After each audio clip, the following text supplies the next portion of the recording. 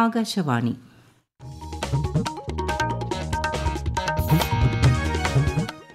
നമസ്കാരം പ്രാദേശിക വാർത്തകൾ വായിക്കുന്നത് ശ്രീലത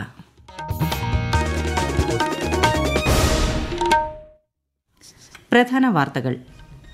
രാജ്യത്തിന്റെ വളർച്ചയുടെ പാതയിൽ റിസർവ് ബാങ്ക് നിർണായക പങ്കാണ് വഹിക്കുന്നതെന്ന് പ്രധാനമന്ത്രി നരേന്ദ്രമോദി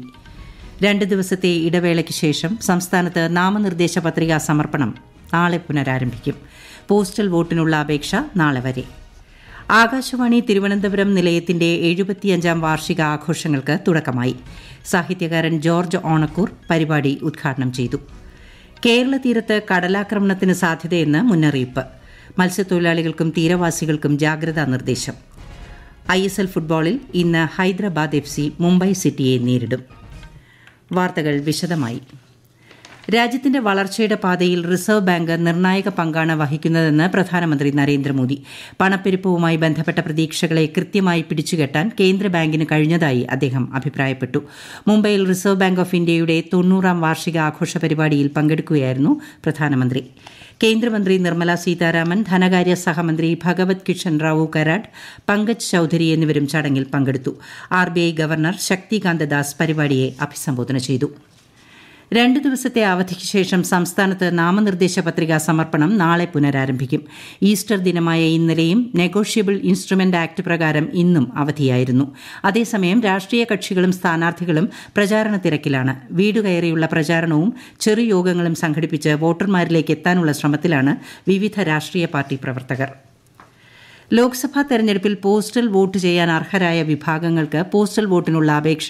നാളെ കൂടി നൽകാമെന്ന് മുഖ്യ തെരഞ്ഞെടുപ്പ് ഓഫീസർ അറിയിച്ചു വോട്ടർ പട്ടികയിൽ പേരുള്ള ലോക്സഭാ മണ്ഡലത്തിലെ വരണാധികാരിക്കാണ് അപേക്ഷ നൽകേണ്ടത് നിലവിൽ ജോലി ചെയ്യുന്ന ജില്ലയിലെ നോഡൽ ഓഫീസർമാർ വഴിയോ നേരിട്ടോ അപേക്ഷ സമർപ്പിക്കാം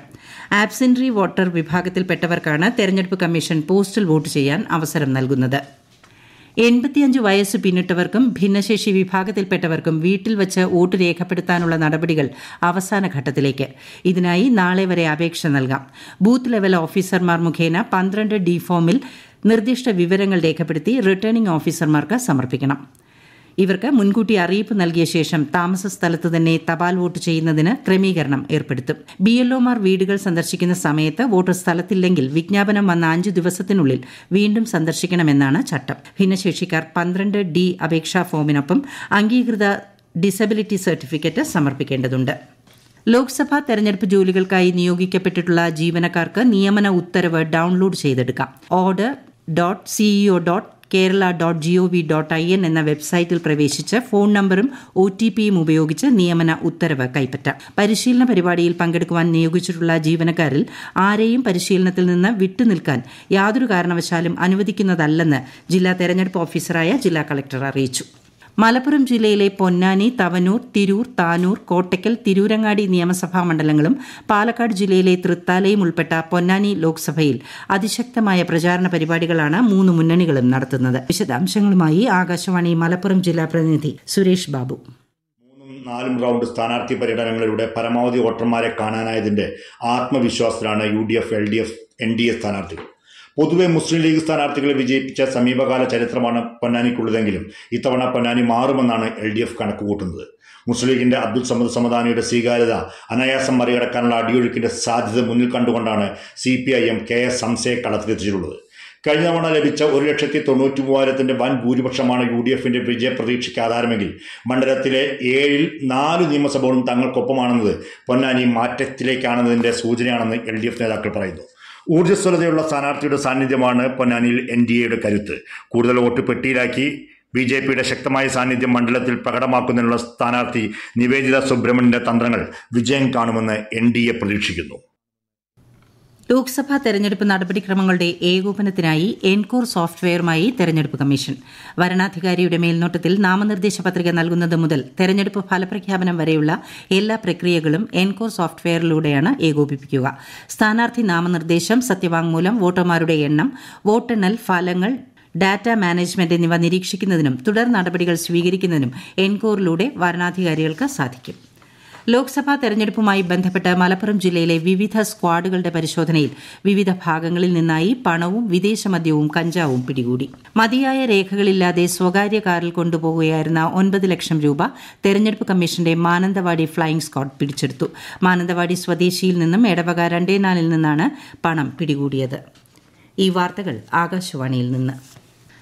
ആകാശവാണി തിരുവനന്തപുരം നിലയത്തിന്റെ എഴുപത്തിയഞ്ചാം വാർഷികാഘോഷം സാഹിത്യകാരൻ ജോർജ് ഓണക്കൂർ ആകാശവാണി അങ്കണത്തിൽ ഉദ്ഘാടനം ചെയ്തു ആകാശവാണി ഒരു സംസ്കാരമാണെന്നും സത്യത്തിന്റെ ഭാഗത്ത് നിന്നുകൊണ്ടാണ് പ്രവർത്തിക്കുന്നതെന്നും അദ്ദേഹം പറഞ്ഞു ആകാശവാണി മികച്ച ഗുരു കൂടിയാണ് ചരിത്രകാരനും അധ്യാപകനുമായ എം ജി ശശിഭൂഷൺ മുഖ്യപ്രഭാഷണം നടത്തി ആകാശവാണി തിരുവനന്തപുരം നിലയം മേധാവി K S Subrahmanya Iyer programme മേധാവി വി ശിവകുമാർ പ്രാദേശിക വിഭാഗം വാർത്താ മേധാവി എ എം മയൂഷ തുടങ്ങിയ തുടങ്ങിയവർ ചടങ്ങിൽ പങ്കെടുത്തു പ്രമുഖ സാഹിത്യകാരൻ സി രാധാകൃഷ്ണൻ കേന്ദ്ര സാഹിത്യ അക്കാദമി വിശിഷ്ടാംഗത്വം രാജിവെച്ചു കാട്ടാന ആക്രമണത്തിൽ മരിച്ച ബിജുവിന്റെ കുടുംബത്തിന് നഷ്ടപരിഹാരം ഉറപ്പാക്കുമെന്ന് മന്ത്രി വീണ ജോർജ് സംഭവത്തിൽ കണമല വനം വകുപ്പ് ഓഫീസിലേക്ക് നടത്തിയ ജനകീയ പ്രതിഷേധ മാർച്ചിൽ സംഘർഷം കൂടുതൽ വിവരങ്ങളുമായി ആകാശവാണി പത്തനംതിട്ട ജില്ലാ പ്രതിനിധി ശ്രീജി എസ് ശ്രീധർ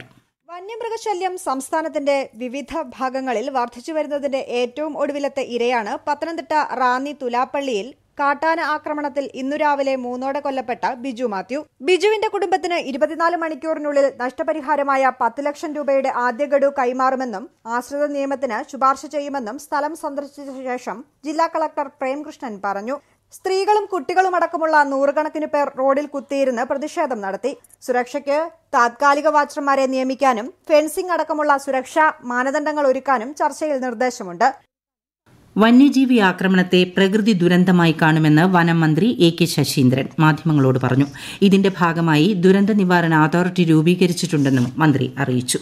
കള്ളക്കടൽ പ്രതിഭാസത്തിന്റെ ഭാഗമായി കേരള തീരത്ത് ഇന്ന് രാത്രി പതിനൊന്നര വരെ ഉയർന്ന തിരമാലയ്ക്കും കടലാക്രമണത്തിനും സാധ്യതയുള്ളതായി സമുദ്ര സ്ഥിതി പഠന ഗവേഷണ കേന്ദ്രം തെക്കൻ തമിഴ്നാട് തീരത്തും കടലാക്രമണത്തിന് സാധ്യതയുള്ള പശ്ചാത്തലത്തിൽ മത്സ്യത്തൊഴിലാളികളും തീരദേശവാസികളും ജാഗ്രത പാലിക്കണം അപകട മേഖലകളിൽ നിന്ന് അധികൃതരുടെ നിർദ്ദേശാനുസരണം മാറി താമസിക്കണം മത്സ്യബന്ധന യാനങ്ങൾ ഹാർബറിൽ സുരക്ഷിതമായി കെട്ടിയിട്ട് സുരക്ഷ ഉറപ്പാക്കണമെന്നും നിർദ്ദേശമുണ്ട് ബീച്ചിലേക്കുള്ള യാത്രകളും കടലിലിറങ്ങിയുള്ള വിനോദങ്ങളും പൂർണ്ണമായും ഒഴിവാക്കുക സംസ്ഥാനത്ത് കടൽക്ഷോഭം രൂക്ഷമായതിനാൽ കടൽത്തീരങ്ങളിലെ ഫ്ളോട്ടിംഗ് ബ്രിഡ്ജുകൾ താൽക്കാലികമായി പ്രവർത്തനം നിർത്തിവച്ചു കടൽക്ഷോഭം രൂക്ഷമായതിനാൽ ബീച്ചുകളിലെ ഫ്ളോട്ടിംഗ് ബ്രിഡ്ജുകൾ താൽക്കാലികമായി അഴിച്ചുമാറ്റാൻ ടൂറിസം വകുപ്പ് ജില്ലാ ടൂറിസം പ്രമോഷൻ കൌൺസിലുകൾക്ക് നിർദ്ദേശം നൽകിയിരുന്നു തീരദേശ മേഖലകളിലുണ്ടായ കടൽക്ഷോഭത്തെ തുടർന്ന് നെയ്യാറ്റിങ്കര താലൂക്കിൽ രണ്ട് ദുരിതാശ്വാസ ക്യാമ്പുകൾ തുറന്നു കുളത്തൂർ വില്ലേജിലെ പൊഴിയൂർ ഗവൺമെന്റ് യു സ്കൂളിലും കരിങ്കുളം വില്ലേജിലെ പുല്ലുവിള ലിയോ പതിമൂന്ന് സ്കൂളിലുമാണ് ക്യാമ്പുകൾ തുറന്നത് രണ്ട് സ്കൂളുകളിലുമായി ഇരുപത്തിരണ്ട് കുടുംബങ്ങളാണ് കഴിയുന്നത് അധിക കടമെടുപ്പിനായി കേരളം സമർപ്പിച്ച ഇടക്കാല ഹർജി സുപ്രീംകോടതി ഭരണഘടനാ ബെഞ്ചിന് വിട്ടത് കേസിന്റെ പ്രാധാന്യം വെളിവാക്കുന്നുവെന്ന് മന്ത്രി കെ എൻ ബാലഗോപാൽ കൊല്ലത്ത് വാർത്താ സമ്മേളനത്തിൽ സംസാരിക്കുകയായിരുന്നു അദ്ദേഹം എല്ലാ സംസ്ഥാനങ്ങൾക്കും വിധി ഗുണം ചെയ്യുമെന്നും ബാലഗോപാൽ പറഞ്ഞു പ്ലാൻ ബി എന്നാൽ ജനങ്ങളെ സംഘടിപ്പിച്ച് പ്രതിഷേധിക്കുക എന്നതാണ് അർത്ഥമാക്കുന്നത് മേടമാസ പൂജയോടനുബന്ധിച്ച് ശബരിമല തണ തുറക്കുമ്പോൾ ദർശനം ബുക്ക് ചെയ്യുന്നതിനായുള്ള വെർച്വൽ ക്യൂ പോർട്ടൽ നാളെ വൈകിട്ട് അഞ്ചു മണി മുതൽ പ്രവർത്തനം ആരംഭിക്കും വെർച്വൽ ക്യൂ ബുക്കിംഗിനായി W W W dot Sabarimala online dot O R G എന്ന വെബ്സൈറ്റ് സന്ദർശിക്കാവുന്നതാണ് ഐ എസ് എൽ ഫുട്ബോളിൽ ഇന്ന് ഹൈദരാബാദ് എഫ് സി മുംബൈ സിറ്റിയെ നേരിടും രാത്രി ഏഴ് മുപ്പതിന് ഹൈദരാബാദിലാണ് മത്സരം ഐ പി എൽ ക്രിക്കറ്റിൽ ഇന്ന് മുംബൈ ഇന്ത്യൻസ് രാജസ്ഥാൻ റോയൽസുമായി ഏറ്റുമുട്ടും മുംബൈ വാങ്കഡേ സ്റ്റേഡിയത്തിൽ രാത്രി ഏഴ് മുപ്പതിനാണ് മത്സരം കളിച്ച രണ്ട് മത്സരങ്ങളും പരാജയപ്പെട്ട മുംബൈ പട്ടികയിൽ ഏറ്റവും പിന്നിലാണ് രാജ്യത്തെ ഓഹരി വിപണികളിൽ നേട്ടം ബോംബെ ഓഹരി സൂചിക സെൻസെക്സ് മുന്നൂറ്റി അറുപത്തിമൂന്ന് പോയിന്റ് ഉയർന്ന് എഴുപത്തിനാലായിരത്തി പതിനാലിലും ദേശീയ ഓഹരി സൂചിക നിഫ്റ്റി നൂറ്റി മുപ്പത്തി അഞ്ച് പോയിന്റ് ഉയർന്ന് ഇരുപത്തിരണ്ടായിരത്തി നാനൂറ്റി അറുപത്തിരണ്ടിലും വ്യാപാരം അവസാനിപ്പിച്ചു സ്വർണ്ണവില സർവകാല റെക്കോർഡിൽ ഗ്രാമിന് ആറായിരത്തി മുന്നൂറ്റി അറുപത് രൂപയും പവന് അറുന്നൂറ്റി എൺപത് രൂപ വർദ്ധിച്ച് അൻപതിനായിരത്തി എണ്ണൂറ്റി എൺപത് രൂപയുമാണ് ഇന്നത്തെ വില പ്രധാന വാർത്തകൾ വീണ്ടും രാജ്യത്തിന്റെ വളർച്ചയുടെ പാതയിൽ റിസർവ് ബാങ്ക് നിർണായക പങ്കാണ് വഹിക്കുന്നതെന്ന് പ്രധാനമന്ത്രി നരേന്ദ്രമോദി രണ്ട് ദിവസത്തെ ഇടവേളയ്ക്ക് ശേഷം സംസ്ഥാനത്ത് നാമനിർദ്ദേശ പത്രികാ സമർപ്പണം നാളെ പുനരാരംഭിക്കും പോസ്റ്റൽ വോട്ടിനുള്ള അപേക്ഷ നാളെ വരെ ആകാശവാണി തിരുവനന്തപുരം നിലയത്തിന്റെ എഴുപത്തിയഞ്ചാം വാർഷിക ആഘോഷങ്ങൾക്ക് തുടക്കമായി സാഹിത്യകാരൻ ജോർജ് ഓണക്കൂർ പരിപാടി ഉദ്ഘാടനം ചെയ്തു കേരള തീരത്ത് കടലാക്രമണത്തിന് സാധ്യതയെന്ന മുന്നറിയിപ്പ് മത്സ്യത്തൊഴിലാളികൾക്കും തീരവാസികൾക്കും ജാഗ്രതാ നിർദ്ദേശം ഐ എസ് എൽ ഫുട്ബോളിൽ ഇന്ന് ഹൈദരാബാദ് എഫ് സി മുംബൈ സിറ്റിയെ നേരിടും